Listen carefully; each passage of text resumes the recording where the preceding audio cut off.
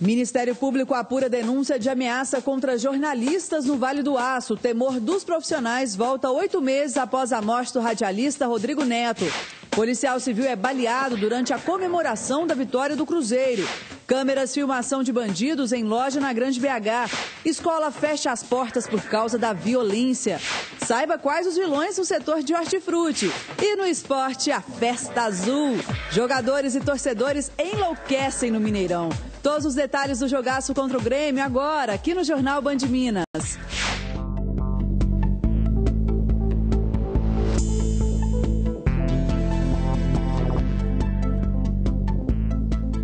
Olá, boa noite.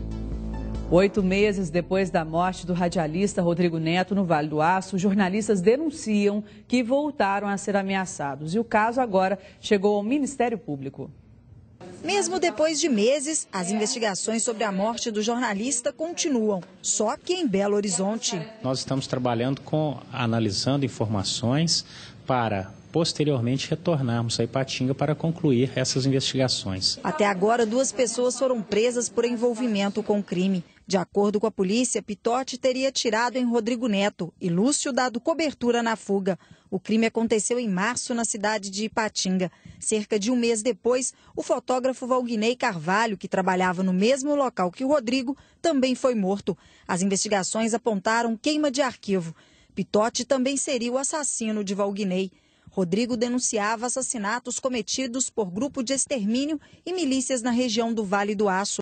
A força-tarefa enviada de Belo Horizonte ficou em Patinga durante quatro meses. Em 120 dias de investigação, o DHPP concluiu outros sete inquéritos. Dez policiais, sendo sete civis e três militares, foram presos. Os crimes só foram investigados após a morte de Rodrigo Neto. A viúva do jornalista busca resposta há oito meses ações mesmo até hoje eu vi muito pouco. E parece que foi tá esquecido. Parece que ninguém mais está fazendo nada é, para que seja descoberto. De acordo com o Comitê Rodrigo Neto, profissionais da imprensa continuam sendo ameaçados. Um deles chegou a formalizar junto ao Ministério Público. A gente tem notícia de policiais que estão sendo soltos por habeas corpus e a gente tem um caso aqui no Vale do Aço, um repórter chegou a, se reportar ao Ministério Público, um policial militar seguiu ele em algumas situações e esse policial tirou foto desse repórter. Esse policial militar, ele é inclusive testemunha de defesa de um dos militares que está preso e acusado de assassinatos. Então isso, né, é, essa essa notícia, esse fato, ele torna a situação de novo perigosa para os profissionais da imprensa aqui do Vale do Aço. Caso tenha algum problema com relação a ameaças em relação aos jornalistas, eles terão que procurar a unidade policial de Patinga e registrar esse tipo de evento para as investigações serem desenvolvidas nesse prisma. O promotor Francisco Ângelo informou que só vai falar sobre as denúncias de jornalistas depois da audiência que irá ouvir os dois acusados de envolvimento na morte de Rodrigo Neto. Será no dia 9 de dezembro. Três bolivianos foram encontrados hoje à tarde em regime de trabalho escravo em uma confecção em Ribeirão das Neves. Segundo a Polícia Militar, um dos bolivianos pediu socorro porque a filha dele estava com catapora. Segundo o trabalhador, eles não tinham direito nem à alimentação. Os bolivianos e um representante da confecção foram encaminhados à Polícia Federal e, neste momento, eles prestam depoimento. A polícia procura o suspeito de balear um policial civil aposentado em Sabará. E acreditem, a motivação do crime pode ser a comemoração da vitória do Cruzeiro. Ao vivo, o repórter André Salles traz mais detalhes para a gente. Boa noite, André. Boa noite, Monique. Boa noite aos telespectadores do Jornal Band Minas. Pois é, o policial civil reformado Ronaldo Antônio da Silva voltava dessa partida com os amigos na cidade de Sabará, na região metropolitana de Belo Horizonte, quando foi baleado. O grupo fazia um verdadeiro buzinaço em comemoração pela vitória da Raposa. O policial reformado deixou os amigos em casa, mas em seguida foi cercado por dois homens que estavam em uma moto. Ele foi baleado na região lombar. Ronaldo foi então encaminhado ao Hospital João 23 em Belo Horizonte. Inclusive, Monique, essas imagens que a gente acompanha agora é da chegada dele à unidade de saúde. Segundo o boletim médico, Ronaldo está internado e em observação.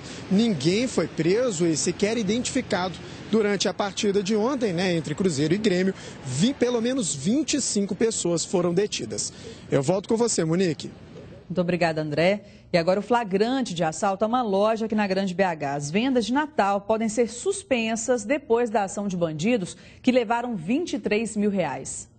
As imagens do circuito interno mostram o momento em que um suspeito de blusa rosa, boné vermelho e calça jeans entra na loja como se fosse um cliente, até o momento em que passa por trás da funcionária e anuncia o assalto. Ela é levada para o fundo da loja. É possível ver a arma do bandido. Um segundo homem, de blusa verde, bermuda e boné preto, entra na loja com sacos de lixo, onde coloca as roupas. Um terceiro suspeito também entra na loja para ajudar os comparsas. Pelo espelho, é possível ver a ação dos bandidos. Um deles vai até o estoque várias vezes e volta com as mãos cheias de roupas. São calças, bermudas e blusas. Em algumas cenas, é possível ver o rosto dos bandidos. Aqui, um deles levanta o boné. Os homens saem com as roupas roubadas em três sacos de lixo e ainda nas mãos. Menos de quatro minutos. Esse foi o tempo gasto pelos bandidos para assaltarem a loja. Após a ação, eles fugiram em um carro azul claro, rebaixado, que foi estacionado aqui, do outro lado do passeio, em frente ao estabelecimento. O carro, que era roubado, foi abandonado pelos bandidos a alguns quarteirões daqui.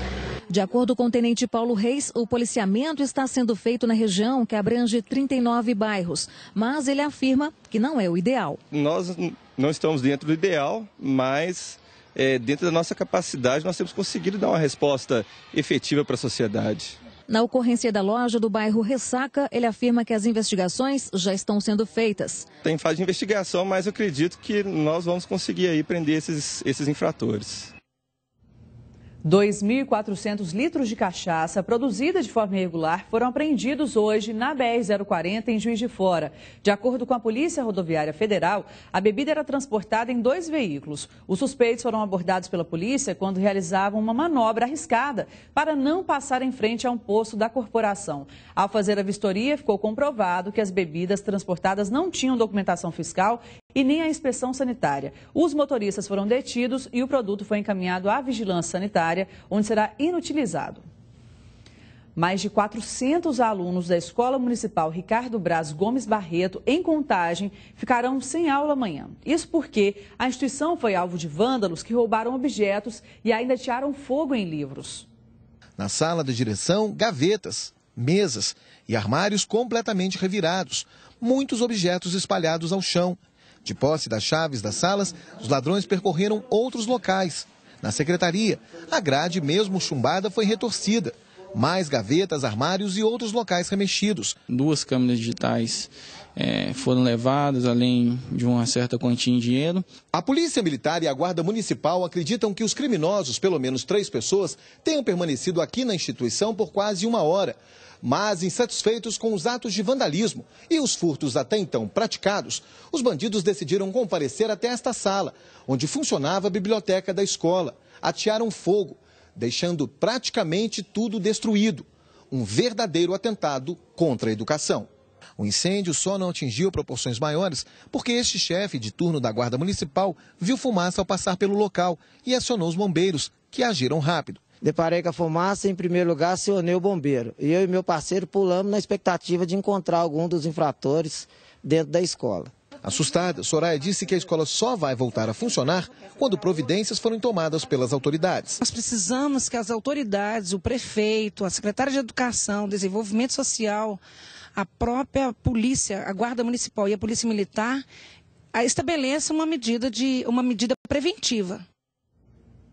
Em reunião, ficou definido que a segurança na escola será reforçada. A aula só será retomada na quarta-feira. Amanhã é o Dia Mundial de Combate à Pneumonia. O Jornal Band Minas traz agora informações sobre essa doença silenciosa que atinge principalmente crianças e idosos. Seu Aloísio procurou o médico achando que estava com uma gripe forte, mas o diagnóstico era pneumonia.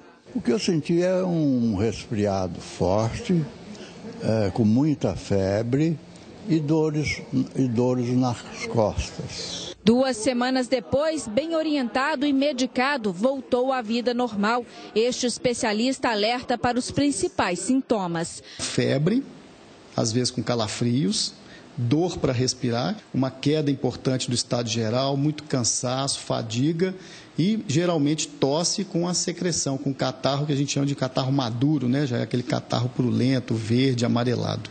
A pneumonia é a maior causa de morte em crianças no mundo, mas a doença não está restrita à faixa etária de 0 a 6 anos e atinge igualmente adultos, principalmente os idosos ou portadores de doenças que afetam o sistema imunológico. Existem três tipos de pneumonia: aquela provocada por vírus, fungos e por bactéria. O contágio pode ocorrer através do contato com pessoas infectadas. A vacina já está disponível, mas não é recomendada para todos os casos. A indicação mesmo é para as pessoas já mais idosas ou pessoas que têm alguma doença debilitante, seja do pulmão ou de algum outro local, por exemplo, um diabetes, uma, uma, um câncer. E veja ainda hoje no Jornal Band Minas que o tradicional churrasco está mais caro. E ainda a comemoração cruzeirense para Belo Horizonte. Os detalhes dessa festa daqui a pouquinho. Agora são 7 e 1, você vê imagens do Museu de Artes e Ofícios. Eu